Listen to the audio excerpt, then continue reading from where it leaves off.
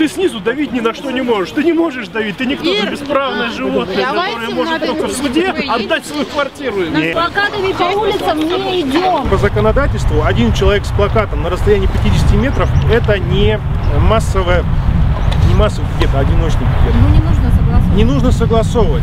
Два, например, человека возле Смольного на расстоянии там 100 метров и напротив законодательного собрания. Москвичи это уже организовали. Они организовали, причем на разных входах. Там у них в Государственной Думе там три входа, они возле каждого входа дежурят. Поэтому, если эта инициатива поддержится, я прошу в контактной группе организовать. Да, будет создана Отдельно. тема, мы будем это обсуждать. Я думаю, нам нужно это сделать, ребята. Они Привлечет внимание однозначно. Общественности, да, но для, как бы мы привлекаем общественность. это общественность Это важно, нас, мы привлекаем ее нашими пикетами, которые будут освещены в? СМИ. Но Они нам нужно постоянно напоминать о правительстве, чтобы Законодательным органам. да, органам, чтобы они о нас не забывали. Вот на работе у меня люди простые, которые вот про эту валютную ипотеку вообще ничего не знают. Так они, конечно, меня поддерживают. А те, кто более или менее в этом разбираются, возможно, ее хотели бы когда-то там взять, но не взяли, это, ну там, или побоялись. Так сейчас они, да, могут и позлорадствовать. В 2006 году я активно занялся вопросом о решении своей жилищной проблемы и обращался во многие банки в нашем городе, Санкт-Петербурге, чтобы получить э, рублевый кредит.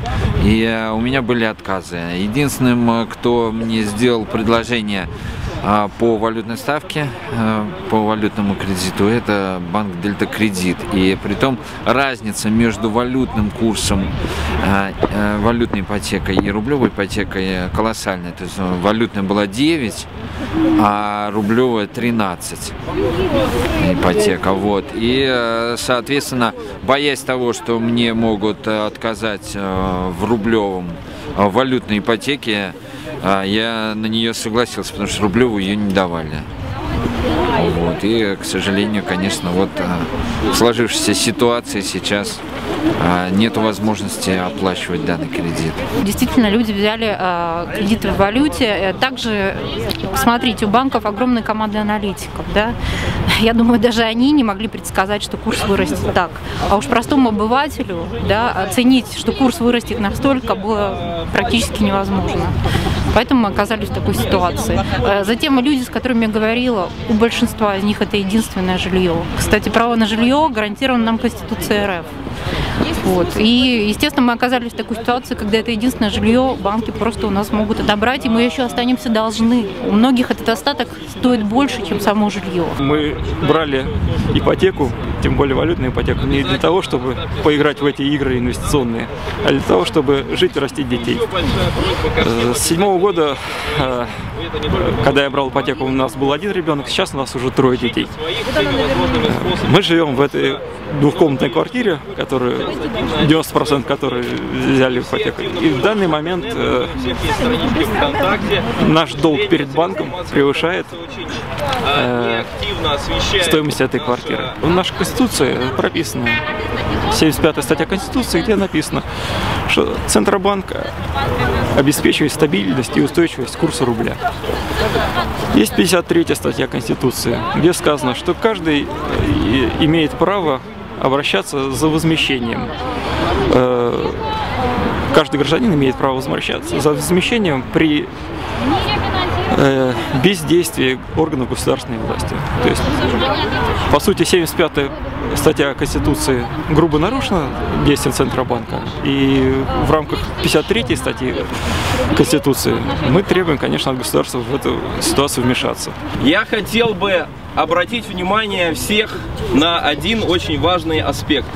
Когда мы с вами говорим, когда мы с вами общаемся со средствами массовой информации, друг с другом, э, какие-то продумываем совместные действия, нужно понимать, против кого мы в конечном итоге действуем. Банки, на самом деле, это наши потенциальные союзники. Потому что банки, точно так же, как и мы, попали в очень плохую ситуацию сейчас. Банки, вы видите на примере вчерашнего траста, банки начинают разоряться, начинают схлопываться. Их под себя будет забирать государство.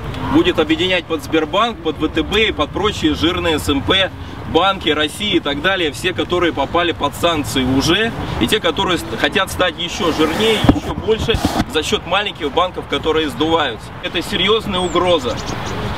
И банки понимают это.